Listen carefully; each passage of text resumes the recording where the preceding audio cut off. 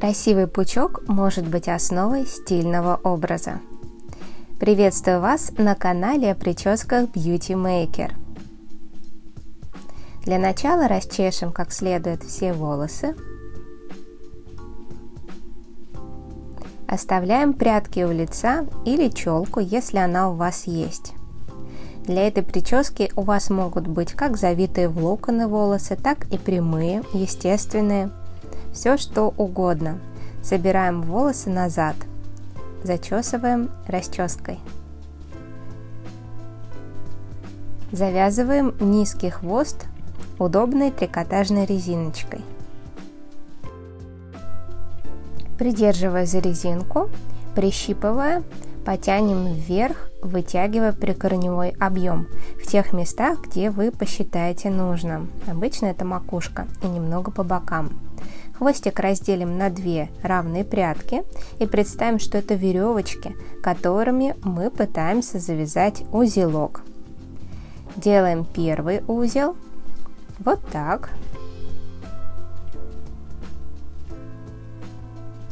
Поднимаем прядки веревочки наверх и завязываем еще один узелок.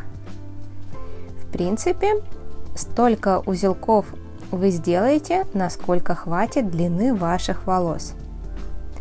Это второй узелок, и я спускаю прядки вниз, перекрещиваю и поднимаю их наверх.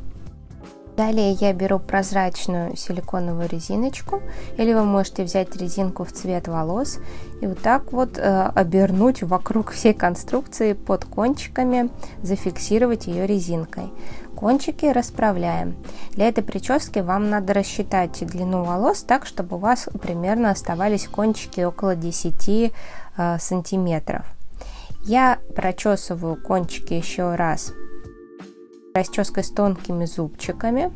Также можно воспользоваться гелем и создать такие отдельные сосульчики из этих кончиков. Будет тоже интересно смотреться, но я решила оставить их вот такими пушистыми, немножко свежими, причесанными.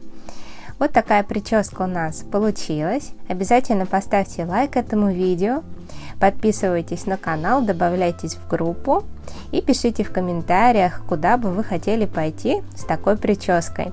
И пишите также идеи причесок, которые вы хотите, чтобы я сняла для вас видео уроки. Спасибо большое за просмотр. До новых встреч на канале Beauty Maker.